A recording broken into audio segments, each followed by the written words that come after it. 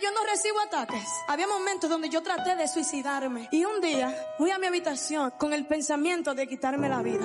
Y aquel día llegó el que lleva el manto. Y escuché esa voz en mis oídos que decía, no. En el momento de yo hacerlo, yo empecé a sentir la presencia de mi padre. Y yo empecé a sentir algo que no me dejaba hacer tal cosa. No importa cómo tú te sientas. No importa cuánta duda llegue en ti. No importa, no importa todo lo que el enemigo quiera hacer en tu vida. Mira, levántate y en son de guerra y di, yo adoro al Dios que me llamó.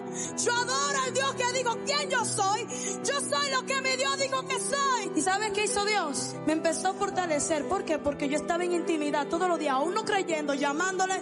Dios de Israel, mira, rescátame. Y llegó un momento donde yo dije, ya, no puedo más. Hay algo que me está impidiendo adorarte como yo quiero adorarte en libertad. Pero aún así, Dios me enseñó algo. Que mientras yo esté en intimidad y siga con un corazón totalmente limpio como Él quiere, Él estará frente de mí, estará a la espalda de